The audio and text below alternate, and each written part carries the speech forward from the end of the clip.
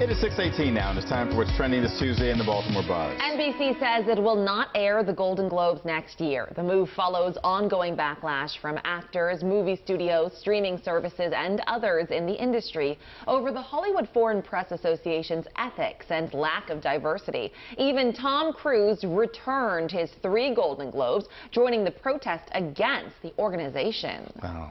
Come From Away is the latest show to announce it's coming back after Broadway closed due to the pandemic. The Tony-winning musical is set to return September 21st, and tickets are now on sale.